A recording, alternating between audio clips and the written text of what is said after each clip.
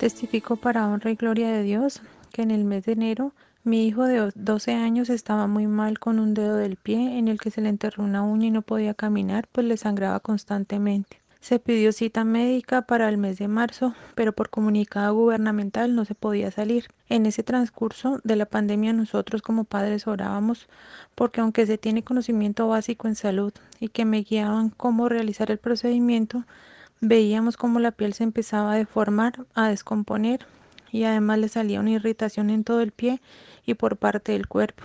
Mi hijo lloraba porque ya no podía colocarse zapatos, me decía que le dolía mucho.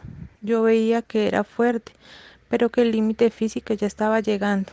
Fue entonces que después de pedir mucho a Dios, Él me mostró que debía ser mi hijo, quien debía pedir con todo su corazón, pues era un poco rebelde con Él. En un estudio bíblico, la hermana autorizó la imposición de manos y aunque ya lo habíamos hecho constantemente, fue en ese momento que Dios empezó a orar. Limpió la carne descompuesta, desenterró la uña y estaba cambiando el carácter y disposición de mi hijo para lo suyo. Esto lo testificó para gloria y honra de mi Padre Celestial.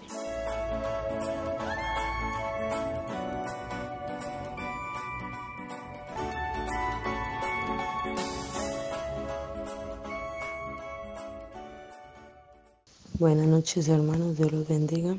Quiero testificar para honrar a mi Padre Celestial que el miércoles 29 de abril que estaba la enseñanza del hermano Calaberto Vaina, tenía un dolor muy fuerte en mis caderas, mi columna, sentía que el dolor, a través del dolor mis huesitos se desprendían. Cuando el hermano dijo que le pidiéramos a Dios con todo el corazón, con toda la devoción, que Dios estaba a la derecha de nosotros, escuchándonos. Yo lo hice con todo el amor, con toda la fe del mundo. Aún el dolor continuaba y fue antes más, más y más y más el dolor.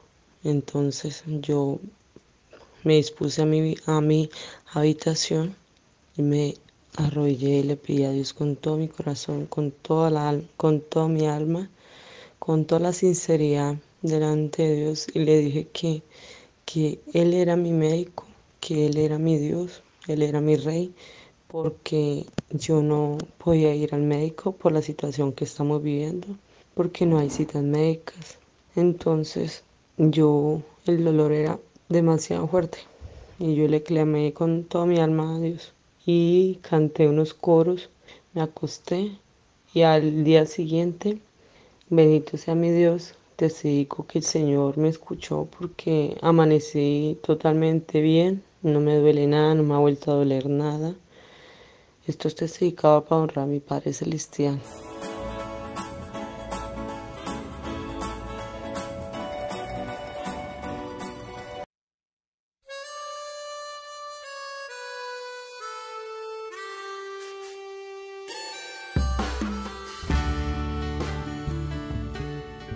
Testifico para darle la gloria y la honra a nuestro Padre Celestial.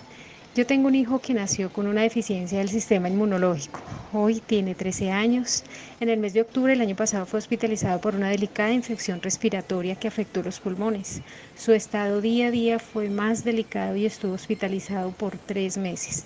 En ese tiempo le hicieron muchas cirugías, pero el Señor en su infinita misericordia, en su santa profecía, me dijo que Él se iba a glorificar en ese hijo por quien yo le pedía y que Él recogería cada una de mis lágrimas. Hermanos, esa promesa, pues eh, no tuve oportunidad de, recibir mucha profecía cuando iba a la iglesia, eh, me concentraba en la alabanza y esa promesa la abracé.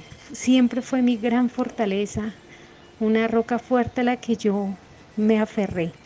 Y hubo momentos difíciles, como el día que el niño entró a la UCI, el 18 de diciembre nos aferramos a la promesa, abrazábamos esa promesa y seguíamos orando y alabando al Señor. Para esos días los templos estaban abiertos, teníamos la bendición de ir a la iglesia y nos turnamos con mi esposo para estar en la clínica y poder ir a la iglesia a alabar y engrandecer a nuestro Dios, ya que no tenemos familiares en la ciudad aquí donde vivimos.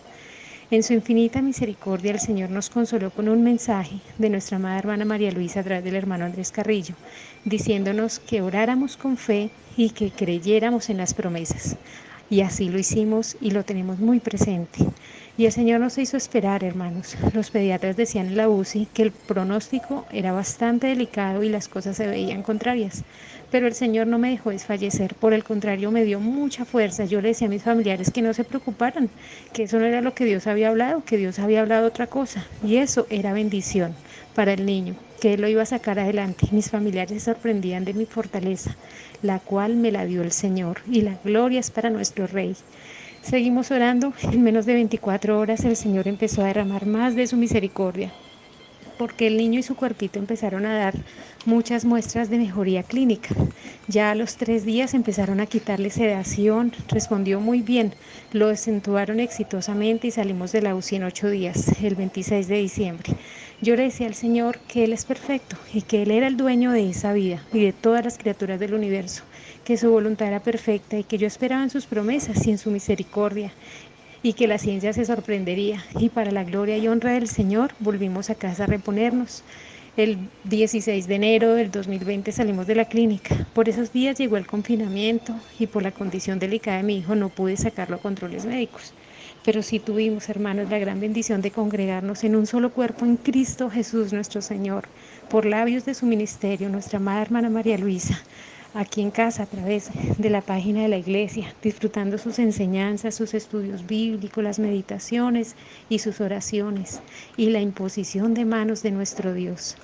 El pasado 7 de mayo, hermanos, el pediatra tratante consideró necesario el control médico presencial con resultados de análisis de sangre y para la gloria y la honra de nuestro Dios los resultados fueron fantásticos, mostrando cero infección.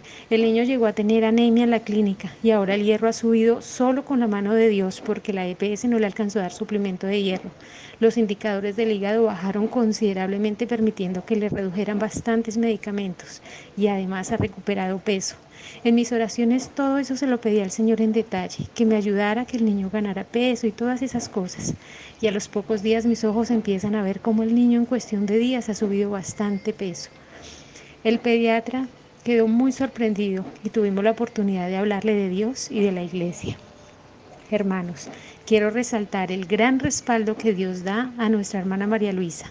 Frente a mis ojos yo venía viendo la gran mejoría en el estado de salud de mi pequeño. Soy testigo presencial de los milagros que solo nuestro Dios Todopoderoso hace y nos concede. Y todo esto, hermanos, yo lo testifico con mucha alegría y gozo para darle la gloria y la honra a nuestro Padre Celestial. Dios los bendiga, hermanos.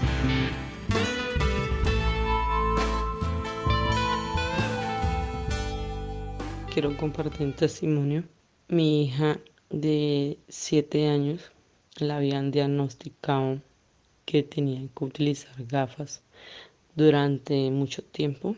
Es así que hace poco mi hija comenzó a leer la Biblia porque pues ella me preguntaba, mami, ¿tú por qué lees tanto la Biblia? Y yo le decía, para agradar a Dios, para aprender doctrina, mami. Y entonces ella dice, mami, pues yo quiero también leer la Biblia y cantarle a Dios. Entonces ella comenzó a leer la Biblia y ha estado leyendo la Biblia. Y desde que ella comenzó a leer la Biblia con siete años de edad, mi hija, Dios la bendeció, le ha dado inteligencia, le ha dado sabiduría a aquella pequeña. Y es así que hace poco tiempo fuimos a la oftalmóloga y ella le dijo que estaba súper bien, que entre poco le iban a quitar las gafas es así que mi hija siguió leyendo la Biblia, siguió orándole aún en su corta edad.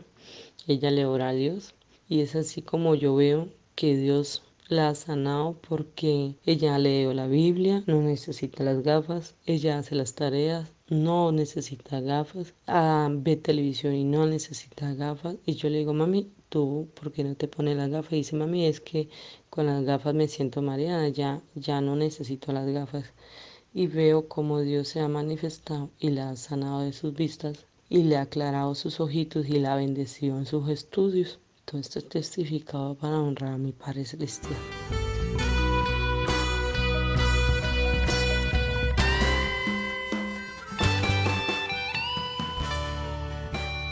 Es una bendición muy grande que Dios me ha otorgado en estos tiempos difíciles que estamos viviendo.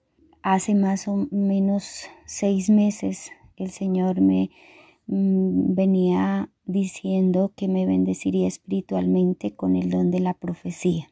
También me dijo en otra de sus profecías que no me preocupara si en mi habitación Él se manifiesta, que no tenga miedo porque es Él el que se manifiesta. Eh, igualmente en otra me, me daba a conocer que a través de sueños Él me estaría mostrando de las bendiciones que vienen para mí.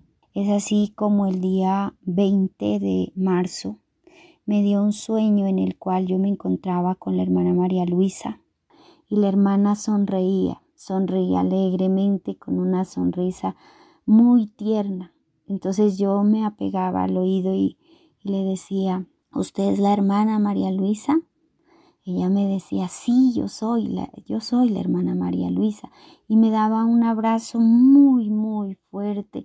Y hermanos, ese abrazo yo lo siento aún en mi corazón y en mi cuerpo físico. Después de ese sueño, al 20 de marzo, eh, predicó la hermana María Luisa y Dios hizo una profecía general donde él dijo que sus hijos estarían profetizando, que él daría dones espirituales y, a, y muchos galardones para sus hijos. Fue así como el 23 de marzo estaba en mi habitación orando cuando de pronto el Señor empezó a hablar a través de mi boca. Y pues yo me sentí feliz, lloraba, quería gritar porque era algo tan hermoso. Y allí el Señor me confirmaba que el abrazo que me dio la hermana María Luisa era de Él y que Él la usaba a la hermana grandemente. Y a través de ella Él obraba sanidad, liberación, que la usaba en gran manera. Me siento feliz, hermanos, porque esta, esta bendición yo la anhelaba mucho, pero eh, no estaba en mi mente que iba a ser en estos tiempos difíciles en medio de una, de una cuarentena. Doy gracias a mi Dios por esta bendición. he pasado momentos muy difíciles donde el Señor Mm, ha sido mi fuerza, mi fortaleza, mi sostén. Y ahora sé que el Señor bendice grandemente. He testificado para dar honra, gloria y alabanza a mi Padre Celestial.